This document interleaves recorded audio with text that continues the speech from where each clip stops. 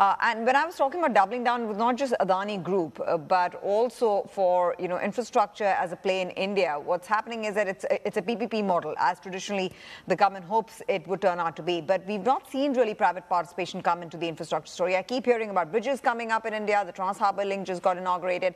I hear about new airports. Of course, Ayodhya is uh, one of the big stories right now that we are tracking from a tourism infrastructure standpoint. And so I wonder if Adani caught your attention, whether you're going to be looking at broadening your base and getting more exposure to infra in India.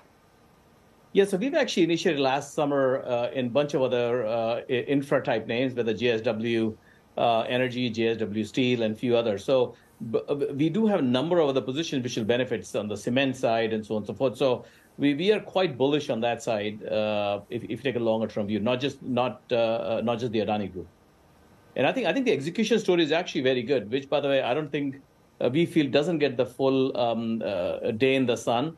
The if you look at the roads build out, uh, railway build out, airports, privatization, so on and so forth, is actually quite dramatic versus Indian history. Hmm.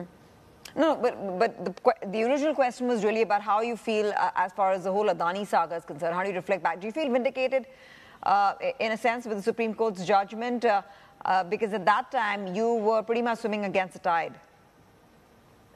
Yeah, look, I think I think I think markets has spoken uh, because we, we, did when we initiated the position, uh, we the the way we typically do it, we, we we put a stake in the ground and then we keep working on the names, and then if the data proves us uh, directionally correct, we increase the position, and we feel that the markets have clearly spoken, and and vast majority of the allegations were kind of uh, yesterday's news. There, there was no real substance, so I'm still kind of surprised how how uh, how animated everybody was when the when the substance was not there.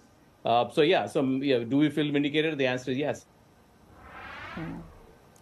Can I just ask you because obviously in, you just outlined some of the other investments you've made in India.